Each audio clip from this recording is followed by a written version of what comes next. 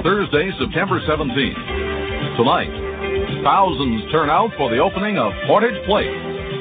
Wow, did you ever think it was going to happen? A ruptured gas line forces the evacuation of a street in St. Vital. It'll flash back and blow so quickly you won't even see it. Winnipeg MP Lloyd Axworthy demands that Canada speak out against U.S. aid to the Contras. There could be some very vital Canadian interest involved in Central America. 24 Hours with Sandra Lewis, Mike McCourt, and the 24 Hours News team, bringing you news, weather, and sports. Good evening. A bit later on 24 Hours tonight, Urban Affairs Minister Gary Doer will bring us up to date on why the government is hanging on to some businesses run by crown corporations but letting go of others. But first, here's the news with Sandra. Good evening. The shopping complex, billed as the salvation of downtown Winnipeg, opened its doors today, and thousands of Winnipeggers came out to see it. Levon Butcher has this report. Portage Place is now open. With that, an $80 million shopping complex, billed as the new heart of downtown Winnipeg, was in business. Wow, did you ever think it was going to happen? This is three city blocks full of stores, restaurants, and theaters. All but six were ready to open today, but even that was disappointing to the center's owners. It is a little, but uh, out of uh, the total of on the main project side of 130 stores, four or five not making it is, is not too bad. Picasso's restaurant missed the grand opening, but workers were busy today racing to get everything finished. The owner vows to be open sometime tomorrow. We're going to work some overtime, and uh, we have a few people working from midnight until noon tomorrow. But ready or not, Winnipeggers flocked in the thousands to see what this place was all about.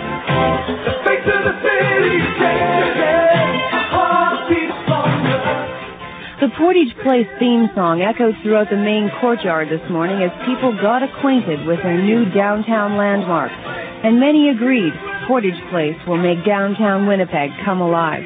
It'll attract a lot of people, I think. It's really nice. I remember a long time ago when it used to be this plain, and now it's just totally it's like Toronto or something. Many of the stores here are familiar to local malls, but there are about 25 newcomers to Winnipeg and about the same number of homegrown shops and restaurants. The center's owners hope all this fervor will last at least 75 years. That's when this time capsule will be opened. It's filled with Portage Place memorabilia and was put in storage during today's official opening.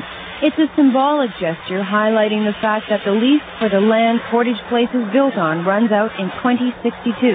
That's when governments can buy all this back for a dollar.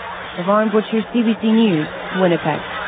And if anything, Portage Place is busier than it was earlier this afternoon. Levon Butcher is standing by. Levon?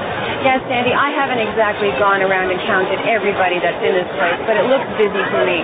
The uh, developers estimated last week that there'd be about 250,000 people come through the doors at one time or another for this opening day. Now, it's been a steady flow since we've been here. We were here early this morning, and it's still busy here tonight.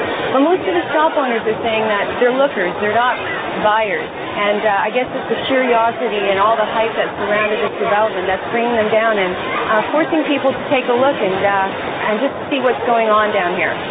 So now we'll go back to you, Sandy. Thanks, Yvonne. At least one question remains about Portage Place. Is it a public gathering spot offering free access to all, or is it just another shopping mall subject to tight security? As Ross Rutherford reports, there's still confusion about who makes that decision, the public body in charge of the development or the private mall developer. Today, a workman was fixing door locks at Portage Place. But the issue of who holds the keys to those locks is causing Portage Place some embarrassment.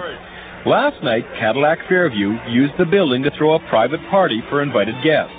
The media were barred, even after the president of the North Portage Development Corporation, Izzy Coop, inquired why they could not get in. Cadillac Fairview said it was a private function, and when a CBC News crew was found inside, they were ordered out. Reporters could not even gain access to the public courtyards. The question is, who will ultimately control those courtyards? And who will decide what community groups get to use them and who can't? Izzy Coop says the North Portage Development Corporation and Cadillac Fairview have set up a joint committee to handle all requests.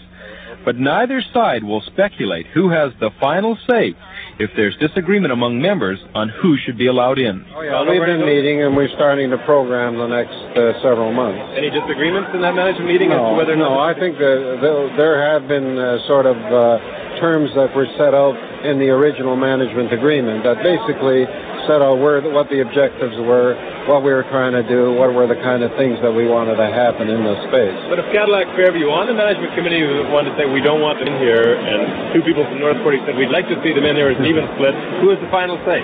You know, you're belaboring this. I, as I Yes, said, I am. I'm just trying to ask to find out whether or not it's really no. controlled by Cadillac Fairview. No, Is he or no, whether- the management committee, that by agreement, the management committee has the final say. And it's, as I say, you know, this is a, a matter of vote, it's a matter of consensus. And we don't foresee that there's going to be any problem in this. Jim Bullock is the president of Cadillac Fairview, and like Coop, he won't speculate on who has the final say if his company and North Portage Development members cannot agree on an access request. In terms of the leasing of retail shops and their operations, certainly that's the purview of Cadillac Fairview. But the use of the Edmonton Court area here behind us, for example, is a, it's a public space, and uh, it will be used for uh, concerts and entertainment and, uh, and a lot of activities completely unrelated to shopping. So that will always be open to the public. That's right. There are there are stringent agreements uh, between ourselves and the corporation as to hours of business that we'll keep the public areas open and uh, pedestrian walkways across Portage Avenue and so on. It really is a unique set of agreements. One thing is for sure, no activities will be allowed in the public courtyards, which are open to the public from 7 until midnight without prior approval from the Joint Committee. A committee that for now says it's not going to have a problem with deciding who has ultimate control. Ross Rutherford, CBC News.